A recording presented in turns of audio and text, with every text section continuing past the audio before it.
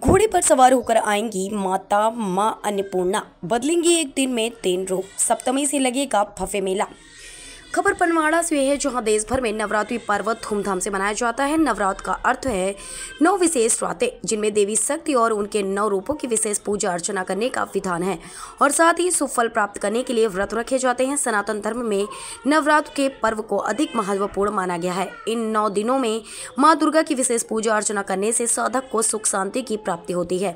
वहीं कराहल वनांचल में पनवाड़ा ग्राम स्थित मानपोड़ा देवी मंदिर की महिमा कई वर्षों से दूर दराज क्षेत्रों तक विख्यात है। आज शुरुआत के दिन माँ अन्नपूर्णा के दर्शन के लिए मंदिर में सुबह से ही भक्तों का तांता लगा रहा।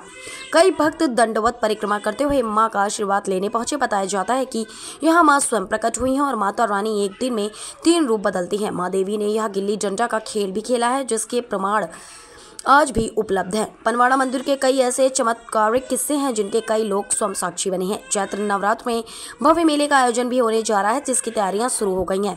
कई प्रकार के झूले और अन्य मनोरंजन की दुकानें मेले में लगना शुरू हो गई हैं। वहीं मेले के आयोजन में चाक चौबंद व्यवस्थाओं के लिए पुलिस प्रशासन ने भी कमर कस ली है। देखिए पनवाड़ा मंदिर में संवाददाता अमित श्रीवास्तव की ये खास रिपोर्ट।